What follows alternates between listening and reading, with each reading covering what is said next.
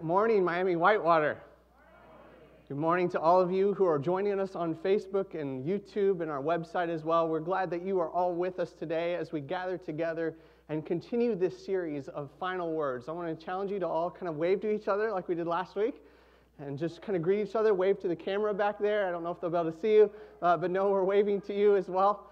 And, and we just are so glad to be in the presence of God this morning.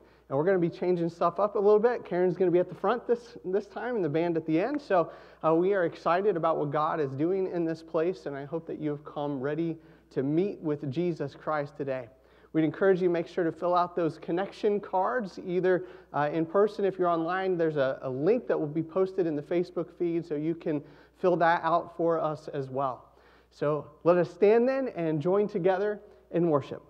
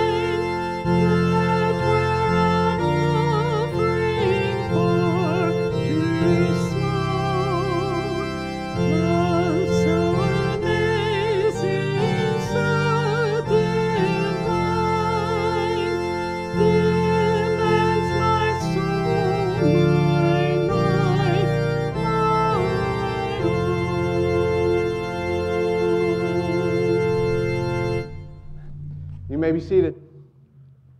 As we come now to the part of our service where we bring God our tithes and our offerings, let us turn to the Lord in prayer. Heavenly Father, we are so grateful for all that you have done for us, for the work that you showed to us on the cross that displayed your love, that made your grace and your mercy so real and amazing. And so, in these moments, Lord, we come to give back to you, to give of ourselves, to give of our time, to give of our energy, to give of our resources.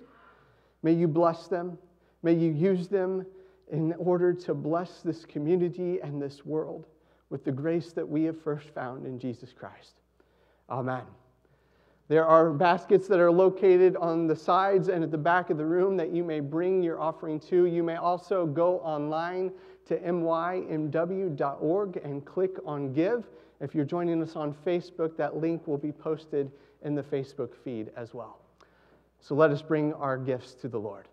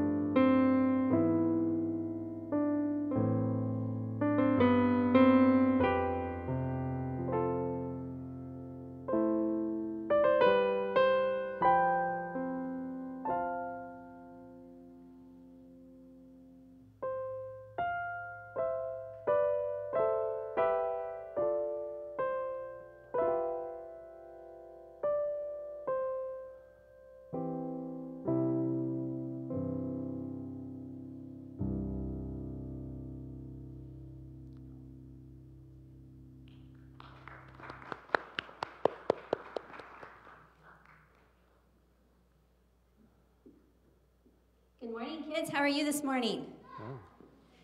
Well, I am really glad that you are here today. And we are, I need you guys to help me play a game. We're going to put some pictures up here on the screen. And I need you to help me figure out who the people in the pictures are. It's going to be a silhouette, so you're not going to be able to see their faces or anything. So let's get the first one up there. Who's that? Princess Leia and Luke Skywalker. That's right. Princess Leia and Luke Skywalker. Good job. Who's that? Mario and Luigi. Good job. The Incredibles. That's right. Yep, Phineas and Ferb.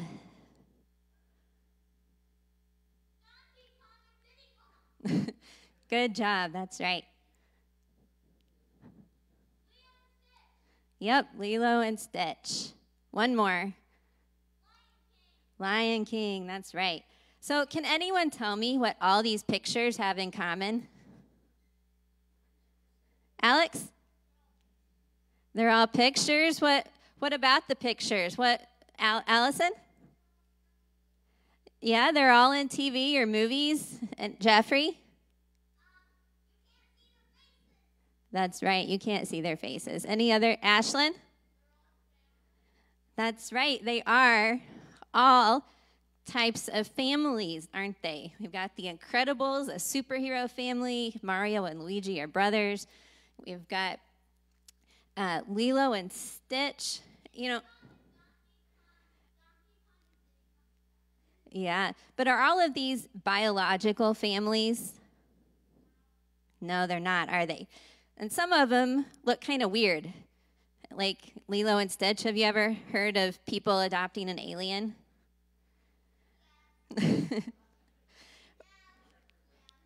or like in The Lion King, you know, you've got these animals who are living together who really aren't even supposed to get along. They're supposed to be enemies and eating each other. So, you know, these families are created by people or animals who choose to have a relationship with people who are not in their biological family, people they're not actually related to, and in some cases, people that they're even really different from. You know, of course, we have our biological families too, right? And when but did you know that we also have a different kind of family? Yeah, when we love Jesus, that makes all of us family with all the other people in the whole world who also love Jesus. It makes us brothers and sisters. That means that all of us in this room are part of our Jesus family, that people who are going to church at all the other churches in Harrison are part of our Jesus family. People who love Jesus all over the world in places like Mexico, China, uh, Africa, they're part of our Jesus family too. How do you think this might change how we look at people? Jeffrey?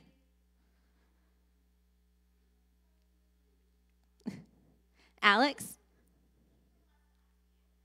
What?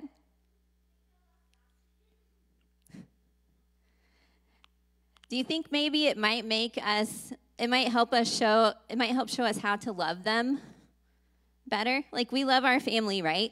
We do things for our family that we don't do for other people. So if we think about everyone as part of our family, it can help show us how to love them. We want to help them and take care of them. And today, Pastor Justin is going to talk about how Jesus asked his disciples to take care of his mom like she was part of their family. He was giving them a new family, he was changing what it meant for them to be family. He was giving them a Jesus family. So, like Jesus in that story, God asks us to take care of our Jesus family too. So this week, I'm going to challenge you guys to look for something that you can do for someone in your Jesus family. Can you do that? Cool.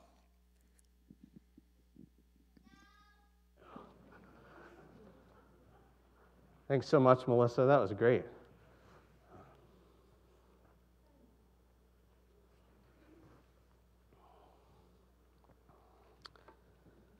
Let us pray.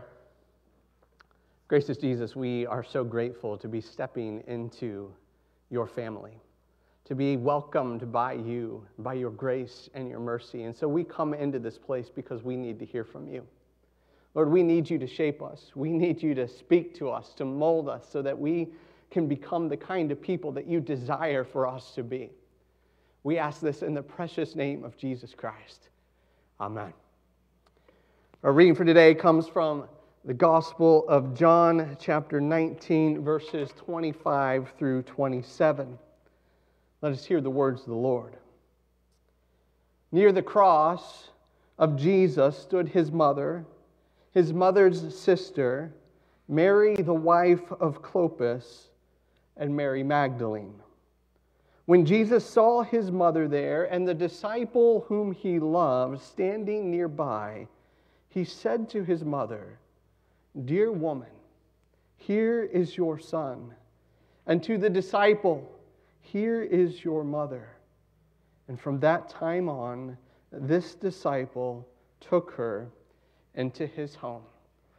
Let's hear a brief monologue from Mary, the wife of Clopas. I begged her not to follow as Jesus was led to be crucified. Mary, it would be too hard. You don't want to see this. But she said to me, I will not let my son die among these wolves. And so we went, joined by only one of his disciples, the young John, and by Mary of Magdala. Jesus' mother was a strong, determined woman. She loved her son as much as any woman ever loved a son. He was to her the joy of her life and the purpose of her existence. Jesus had sought to prepare her for what, what lay ahead in Jerusalem. Somehow, she had, ar- she had always known that he would die as a young man, giving his life to save the world. Mary was determined to stand near Jesus as he suffered. She would fight to hold back the tears, seeking to show her son some strength and love. She would do all she could standing there to ease his pain and to give him hope. As the crowd hurled their insults, Mary slowly pushed her way through until she stood before him. There he hung, naked as to hum- humiliate and wretched pain. Jesus' feet were two feet off the ground, and from where Mary stood as she could reach up and touch his chest, though the Roman guards forbade such things. As we stood there, Mary said to Jesus, I love you, my son.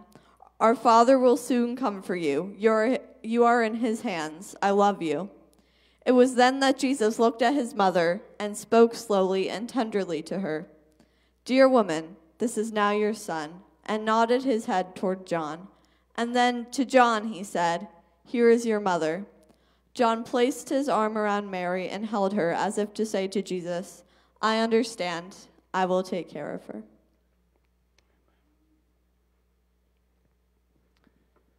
Well, Sharon had been in and out of foster care ever since the time that she was two. She was lonely. She was confused. She was in deep, deep pain. And the only way that she really knew how to express the feelings and the pain that she felt was by kicking and screaming and throwing tantrums of all sorts. And because she acted up so often, each and every foster mom that she had had would eventually send her back to the agency. And so by the time she was seven, Sharon thought that she was completely unlovable. She felt rejected by every mom that she had ever had, by every person who had came into contact with her. And that's when she met Kate. Kate was a single woman, and Kate desperately longed to adopt a child and to raise a child as her own. And, and she could sense that Sharon was a bit afraid. She could sense the pain that was in her eyes, and so she spoke tenderly to her. She said, I, I know your fear. I know you've been hurt. I know you're scared, but, but I promise you that I will never send you away, no matter what, that we are family now. And so every day she would tell Sharon how much she loved her. But yet that wasn't enough to, to heal the wounds that were so real and so deep in Sharon's life. And, and so she kept acting up and she kept waiting and waiting and waiting for Kate to eventually send her back. She tried to hurt Kate before Kate could hurt her. And so she did everything that she could. She picked fights over little things. She slammed doors. She screamed. She did everything that she could think of. Well, one day after school, she was watching TV, and Kate came in, turned it off, told her, You need to go finish your homework first, and then you can come and watch TV. And Sharon wanted nothing to do with it. She took her books, she threw them across the room, broke a few things in the house, and, and, and then she waited. She waited to be sent back. And, and after a while, when that didn't happen, she turned to Kate and said, Aren't you going to send me back? And Kate said, I don't like the way you're acting right now, but I'm never going to send you back. I love you, and we're family. And families don't give up on each other. And it was at that moment that Sharon realized that this mom was different than every other mom that she had had throughout her life. This mom wasn't going to get rid of her. This mom actually did love her as her own child. And today marks the third Sunday in Lent. And throughout this season, we are focusing in on the seven final words that Jesus spoke from the cross. We're looking at what these words have to say to us about who Jesus is and, and, and what, who we are called to be as the people of God. In our first week, we heard Jesus speak words of forgiveness. Father, forgive them, for they know not what they do. Last week, we saw Jesus speak words of salvation as he spoke to the criminal who was hanging on the thief with him, saying, Today, you will be with me in paradise. And today we turn to a word of compassion. When Jesus sees his mother and the disciple that he loves standing nearby at the foot of the cross, he says to his mother, Woman, here is your son. And to the disciple, Here is your mother. What do these words have to say to us? I want to suggest at least three things today. And the first one's probably the most obvious, so we're not going to spend a ton of time on this first one. And the first one is that this that these words remind us to care for our parents and fulfillment of the fifth commandment to honor your father and your mother. They remind us that, that we are to care for our parents in their old age. You see, women in that day and age, they didn't have ownership rights. They couldn't own property. And so they would spend their entire lives dependent on the men that were in their lives. First, it was their father, and then it was their husband. And once he died, it was their sons. And that responsibility, by law, would pass to the oldest son to take care of his mother. And of course, Jesus was Mary's oldest child. And so he had a legal responsibility to take care of her after he passed. And so in those final moments, he, he turns in his dying breath to provide for her, to provide for her future, to provide for her security, to provide care and comfort and compassion through the disciple who stands there with her at the foot of the cross.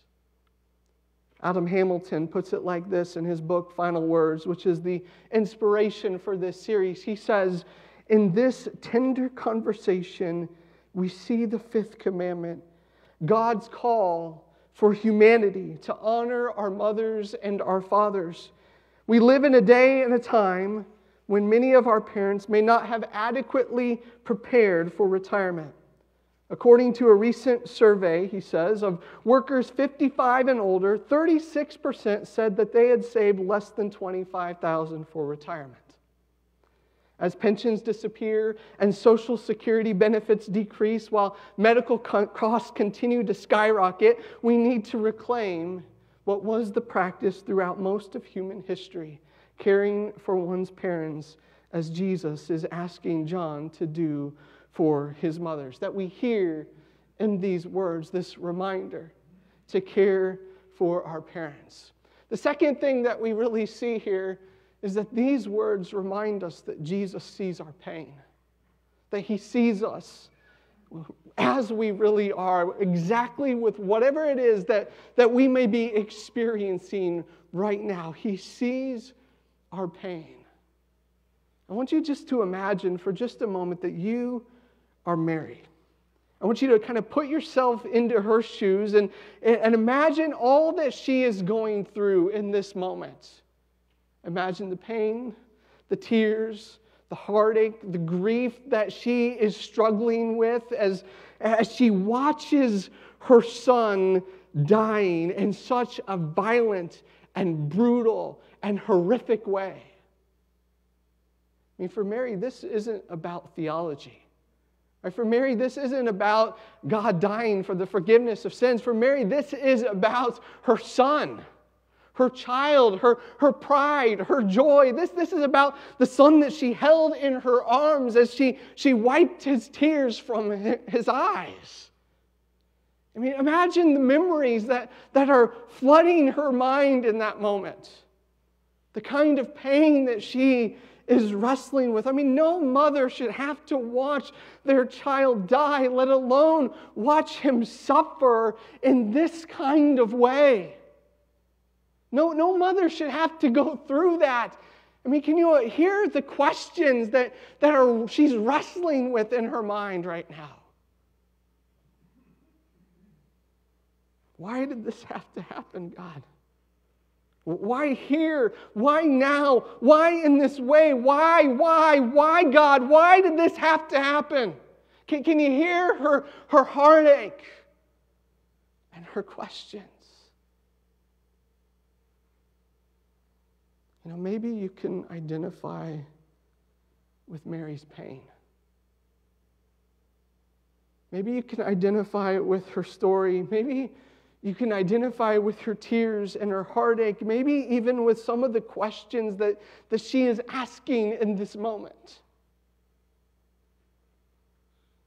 I mean, in all, light of all that we've been through in this last year, as we come almost to the, the anniversary of when this whole thing started, I mean, it, it would make sense if, if we are feeling the pain and the heartache and the rawness of this kind of moment.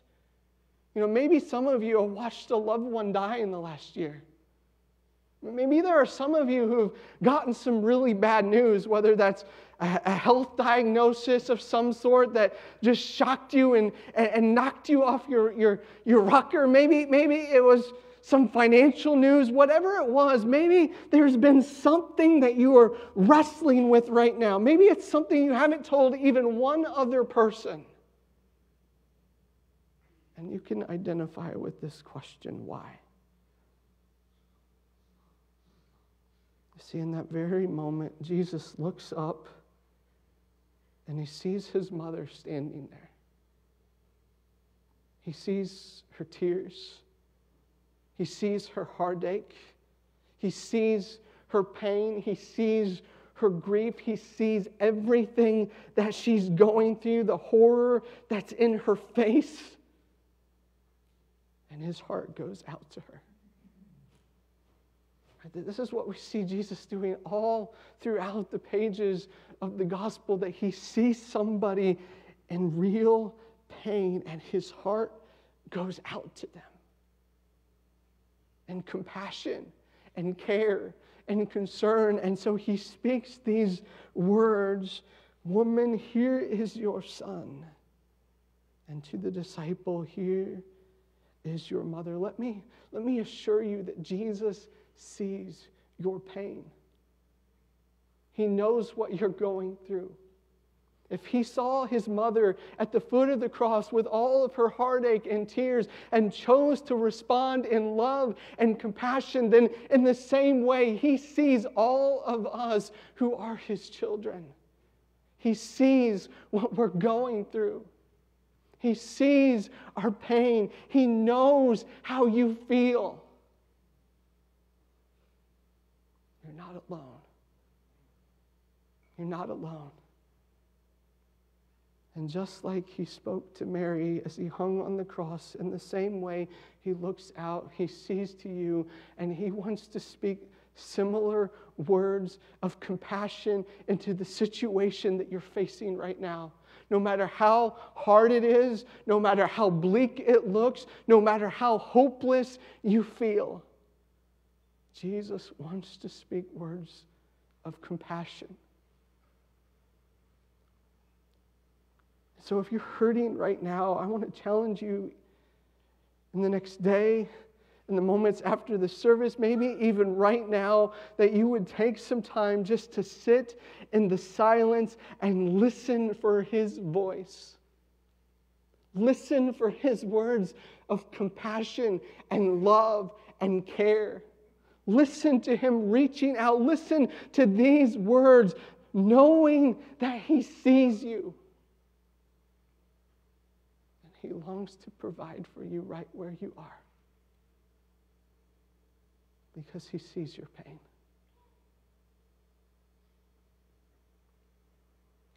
And then finally, these words show us a model for how the church is to care for each other. This is some of what Melissa was getting into with the illustrations that she was making about Lilo and Stitch and, and uh, you know, the Lion King. It's about how we are to care for one another. You see, throughout the New Testament, one of the most predominant images that, that God used to talk about the church is the image of family. Right? That, that if, if we come into the body of Christ, if we have accepted Jesus as our Lord and Savior, then that changes our relationship with each other. We are now brothers and sisters in Christ. We are family in the very real meaning of the word family. You know, I find it so profound that throughout Jesus' ministry, he gives a lot more attention to spiritual family than he does to biological family. A, a lot more attention. In fact, there was one time he was teaching a group of people, and his mother and his brothers arrived on the scene and they, they sent word to Jesus. Right? They told him, We're here. And Jesus looks at the people around him, and this is what he says Who is my mother? And who are my brothers? And looking at those who are seated around him, listening to what he is saying, listening to his teaching, he says, Look, here are my mother and my brothers and my sisters. Here eh, are my mother and brother and sister. He completely, in that one saying, redefines what family is all about. Right? That family is not about biological ties in the kingdom of God. That family is about something deeper, something more real, something that, that, that connects us through the very power of God. It's about our spiritual relationship with Jesus Christ. He completely redefines family, and we see this over and over and over again in his ministry. There's another story where a guy comes up and Jesus uh, says, Follow me. And the guy says, Well, let me go bury my dad because he's just died. And Jesus looks at him and says what sounds very insensitive. He says, Let the dead bury the dead. You come and follow me. Right? He completely redefines priorities. That discipleship is about more than our biological connection to those that we are physically related to. That it's about spiritual connection in Jesus. In fact, when Jesus calls his very first disciples, when he calls James and John from the boat, the Bible says that they leave their father behind in the boat and they go and follow him. They leave him behind, even though they had responsibility to care for him. Even though the, fifth commandment said, honor your father and your mother, they leave their family behind to follow Jesus. And then there's Luke 14 26, which is probably the most radical statement about family that Jesus makes in the entire gospel. He says, Whoever comes to me and doesn't hate father and mother, spouse and children, brothers and sisters, yes, even his own life, he cannot be my disciple. Now, let me just clarify what Jesus is saying here. He's not saying that, that biological family isn't important. He's not saying that they don't matter. Right? He's not saying that we are to literally hate and dismiss our family. I mean, there's lots of other passages, including the fifth commandment, that says that we are to care for each other. We are to provide for each other. He even calls the Pharisees out because they're trying to dismiss the law and not care for their biological family. But what Jesus is doing is he's making a point about discipleship that discipleship is, is far more important, that, this, that, that the most important connections that we have are not our physical, biological connections, but they are our spiritual connections in the family of God. Our spiritual connections in the family of God because disciples, by definition, nurture and provide and care for each other as family. This is who we are. This is what we are called to do to live every day in relationship with Jesus. And as we are in relationship with Jesus, that is going to compel us to love our brothers and our sisters in the family of God. It's going to compel us to start to treat people different because just as we are born into a physical family, when we are born into the kingdom of God, we are born into a spiritual family. And the spiritual always takes precedence over the physical. I mean, it's no surprise then that when Jesus hangs here on the cross and he speaks these words, notice who they are not directed to. They're not directed to his physical, biological brothers. I mean, Jesus had other brothers. Know, James, uh, the guy who wrote the book of James, was Jesus' brother. He had other brothers who, by law, would have had the responsibility to take care of his mom. Instead, he chooses a disciple, the spiritual connection. He chooses someone that's called the disciple that Jesus loved. We're never told exactly who this is in the Gospel of John, even though most people think it's probably John himself. We're never actually told who this disciple is because John wants us to hear that this guy is the example of the ideal disciple of Jesus Christ. Right? That the three times that we see the beloved disciple, we see him first leaning into the bosom of the Lord, right? There's intimacy and relationship with God. The second time is here. And the third time that we see him is at the empty tomb. And he walks in, and like every, unlike everyone else, he simply sees the empty tomb and he believes. Right? An ideal example of what a disciple of Jesus Christ is meant to look like. And so Jesus entrusts his mother to the church. All, if Jesus simply wanted to provide for Mary's care, all he had to say was, John, here is your mother. But instead, he says something that is two sided. He, he, he gives no names. Neither Mary nor this disciple are named. And he speaks first, not to the disciple, but to his mother. Woman, here is your son.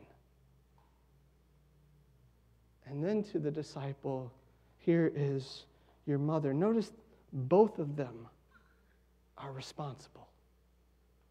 It's not just John caring for Jesus' mother, both of them are responsible to care for each other. Right? In his final words, Jesus is establishing a new kind of family a spiritual family that is to supersede the physical, earthly, biological relationships that they have. And so, a number of scholars will, will actually say that this isn't, isn't about bio, biology here. Fleming Rutledge says it this way both the disciple and Mary represent the way that family ties are transcended in the church by ties of the Spirit. Raymond Brown says to interpret this relationship between Jesus and his mother in terms of filial, biological care is to reduce his thoughts to the level of the flesh. There is something more profound that he's trying to say about how we are connected to each other in the life of the church.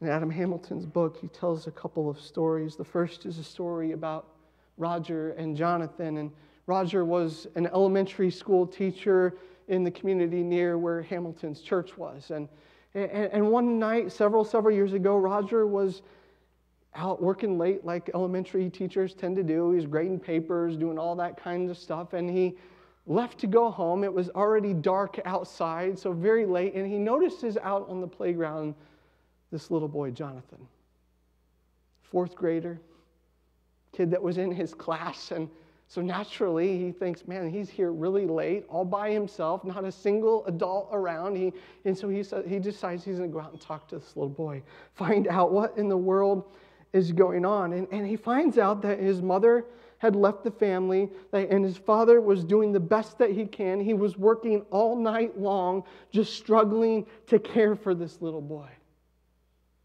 And so Roger sent him home. He assured him things were going to be okay. And in the following days, he started to take a very special interest in this little boy. He started to care for him. He started to love him. And, and eventually, you know, social services came in. The father couldn't take care of the child the way that he needed to. He ended up in the foster care system. Eventually, he turned his life around. He got back where he got his child back. And, but then things started to spiral out of control again. And he knew he was going to lose his child again. So the dad went to Roger and he asked him if he could take him in.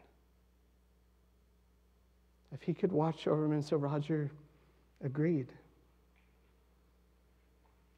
And he welcomed him as his son, and he gave him a life and a future that he never had before. With his help, Jonathan went to college, and today he lives in Chicago where he is working with inner city boys who were just like him, who had no place to call home. Roger heard Jesus say, Behold your son. Behold your son. And then he tells a story about Faye. Faye had, was serving in a ministry for seniors at her local church. And one of the women who attended that group was a woman by the name of Betty. And uh, Betty was a woman whose health was going downhill. She was fighting Alzheimer's, she was rapidly decreasing. And yet, Faye continued to love her as if she was her own mom. She was there for her day after day. She visited her in the home. She talked with her. She smiled at her. She, even as she approached the end of life, she was there by her bedside, holding her hand because she heard Jesus say, Behold, your mother.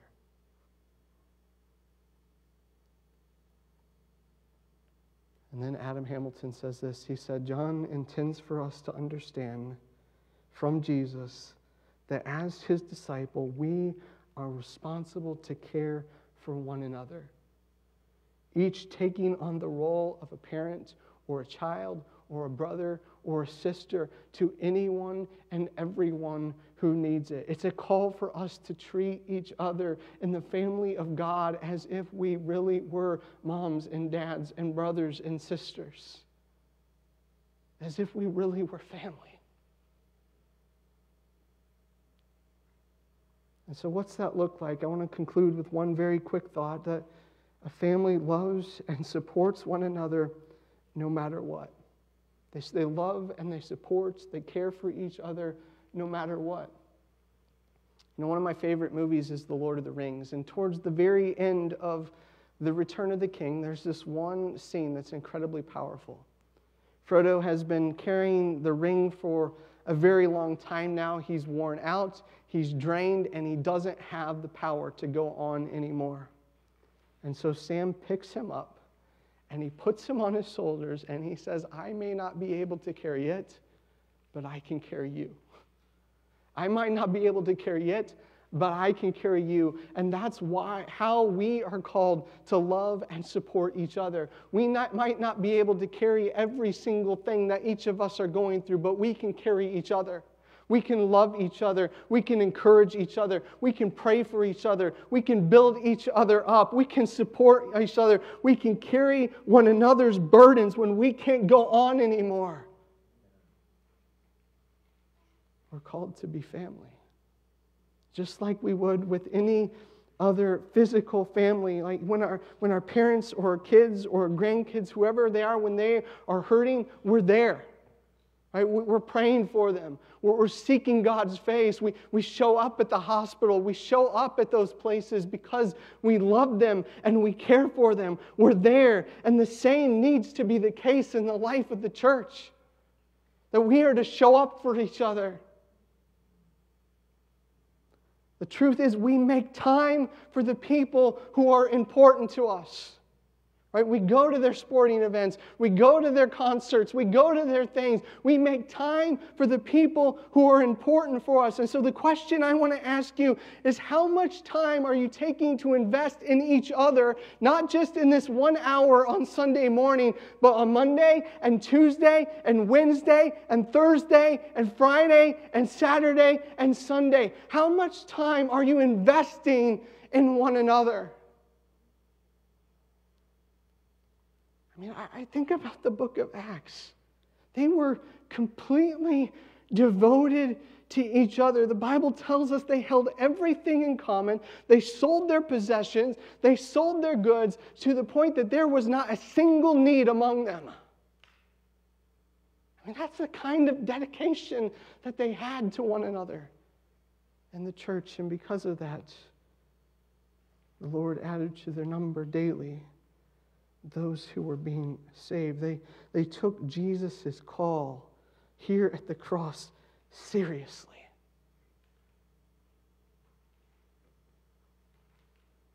You know, one of the things that has been said about this church ever since I got here four years ago is that this church is family. That this church is a church where people really care for each other, where they really love each other desperately. And I've seen that. I've seen it in profound ways, but in this last year, we've lost some of that. We have lost a lot of that. The thing that is our greatest strength is beginning to become our weakness. And so I want to challenge you again to reclaim who you are love each other, care for each other, support each other, be there for one another, call each other, text each other. Reclaim your strength. And heed Jesus' words here to find a spiritual mom and a spiritual dad and a spiritual son and a spiritual daughter and a spiritual brother and a spiritual sister. I want you to look at the person on your right. Look at the person on your left. Look at the person in front of you. Look at the people behind you. Look at the people whose comments are on Facebook. Right? Look at the people across this room.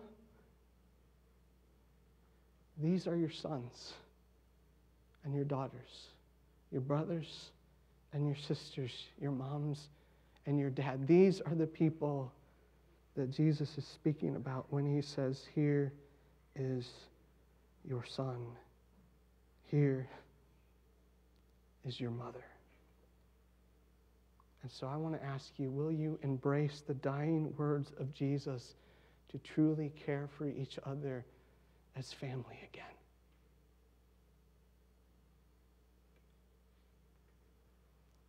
Let's pray.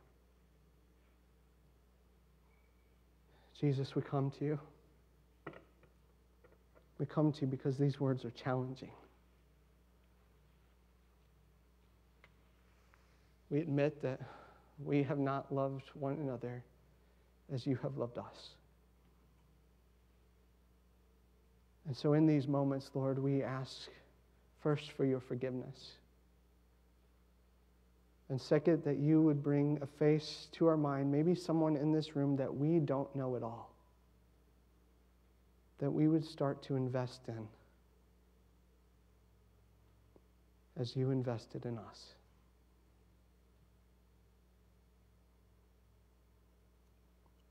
We ask this in the name of Jesus Christ, our Lord and our Savior.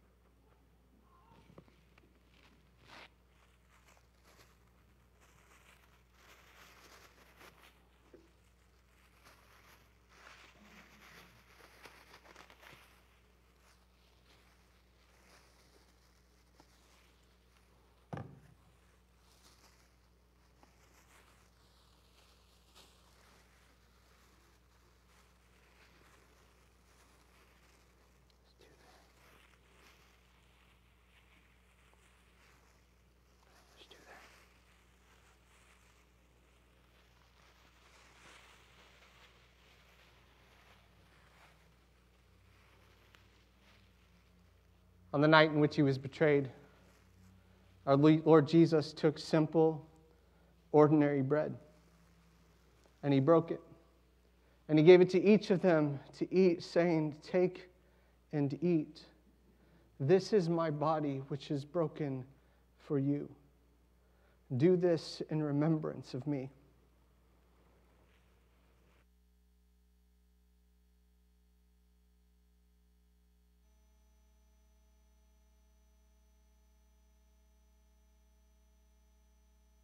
Blood, which is shed for you for the forgiveness of all of your sins. Do this as often as you drink it in remembrance of me. And so, as often as we eat of this meal and we drink of this cup, we proclaim a great mystery that Christ has died, that Christ is risen, and that Christ will come again. Let us pray. Heavenly Father, pour out your Holy Spirit on us who are gathered here and on these gifts of bread and grape juice. Make them to be for us the body and blood of our Lord and Savior Jesus Christ, that we may be your people, sent into the world to be a new spiritual kind of family. We ask this in your most holy and precious name. Amen. Just a few instructions as we come to communion today. You do not have to be a member of this church to partake in Holy Communion. This meal was a gift that was given by the grace of God, and so therefore it is for all of you. The way that we will do this today is the ushers will dismiss you. We ask that you keep your social distancing as you come forward. They will give you a squirt of hand sanitizer, and then as you come forward, simply hold out your hands. Uh, Sue will drop a piece of the bread into your hands, and Jackie will hand you uh, the little cup of wine. Return to your seats. At that time, you remove your mask to eat of the bread and drink of the cup, and we ask at that point you put them back on. So let us come. The table is ready.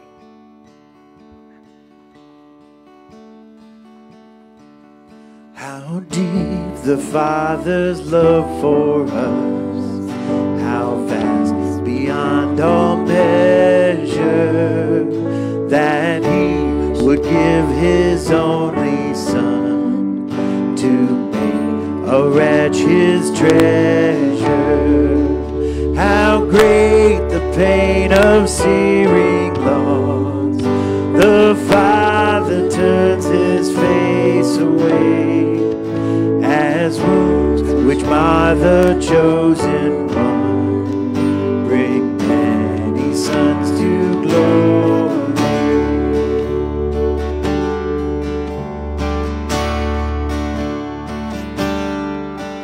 Behold the man upon the cross, my sin upon his shoulders, ashamed I hear my mocking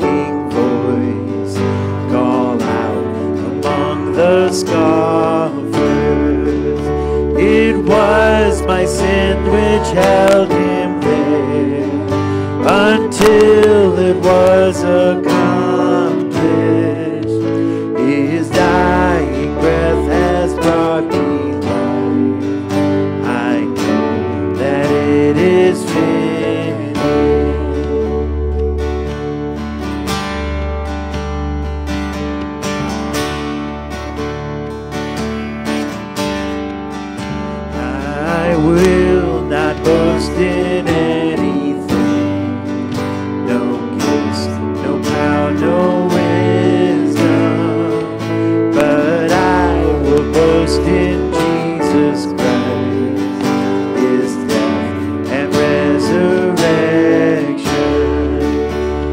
Should I gain from His reward?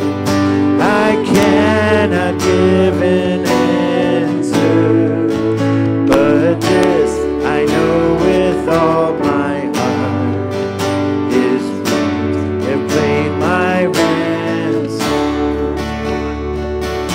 How deep the Father's love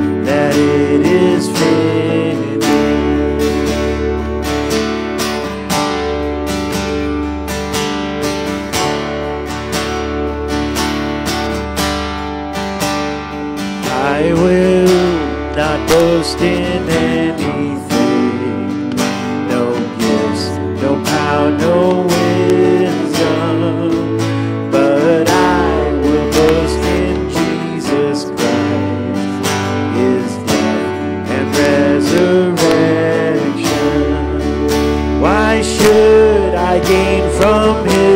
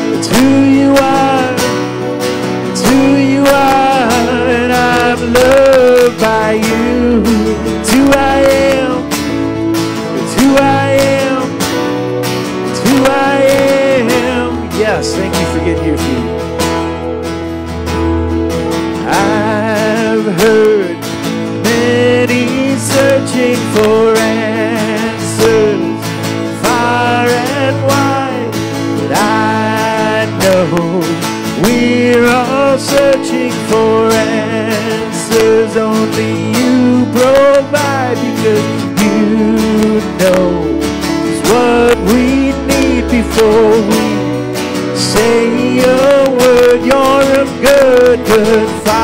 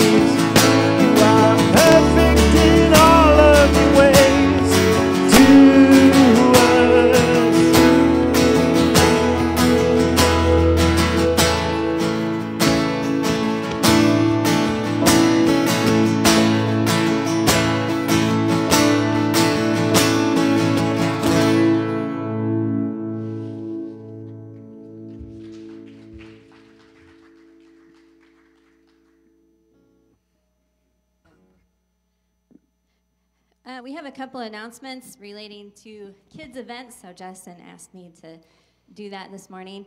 Uh, the first is the Harrison Recreation Commission contacted us and asked us to be part of the city Easter celebration that they are doing at the community center.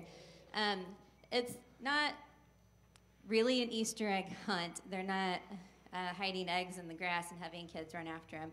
They're having a drive-through event where they will have community organizations stationed at various spots along a path.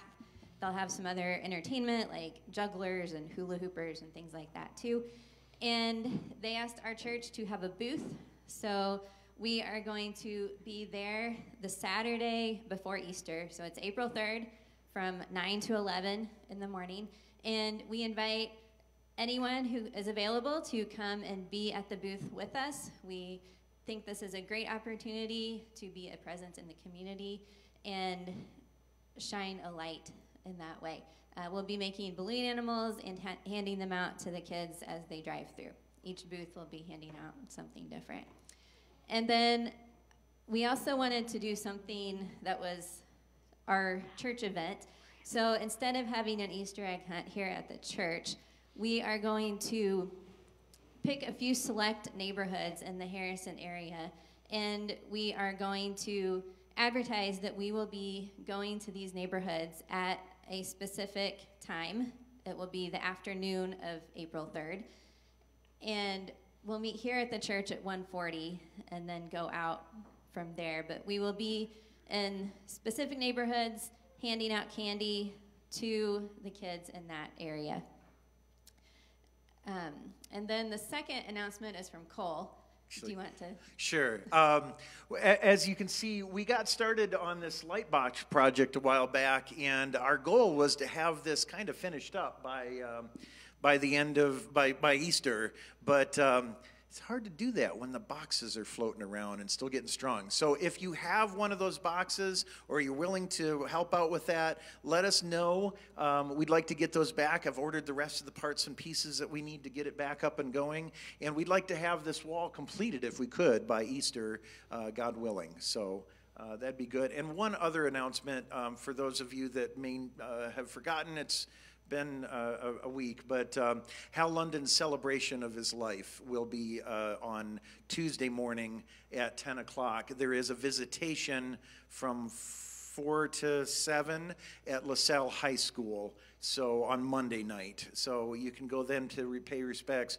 But if you could come out and make it, we'd love to have a great show of support from y'all on Tuesday morning at 10.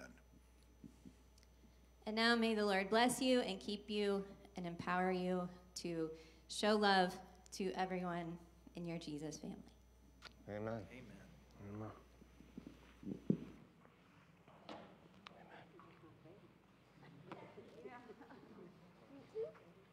Hmm?